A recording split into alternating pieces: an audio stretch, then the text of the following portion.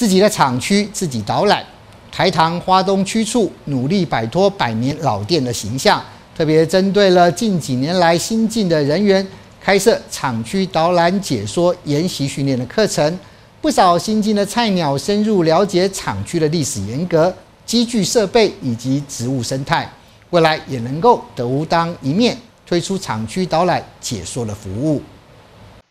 从花糖制糖产业历史沿革、厂区机具设备到植物生态，参加这一堂导览解说研习课程的花糖新进人员，跟着讲师仔细认真的观察与学习，收获满满。来这边收获应该还不错，像我手上的这个是海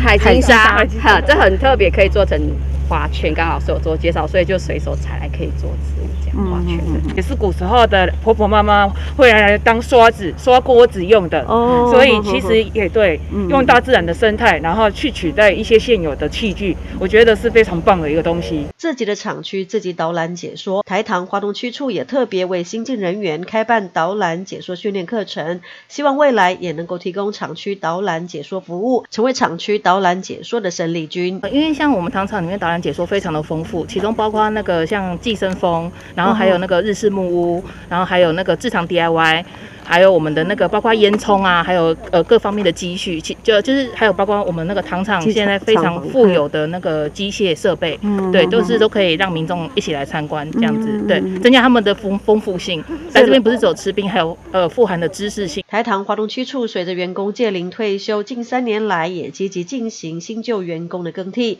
有年轻新血的加入，也转化了台糖企业人才管理的方向与目标。厂区导览解说人员的训练就是其中之一。最近几年哈，都资深的员工都陆续在退休，所以我们原来有十五位解说员，可能过几年以后就不会就会不够。嗯，对，所以我们现在有很多新进的员工。那新进员工呢，我们希望他们能够传承诶资深员工的解说的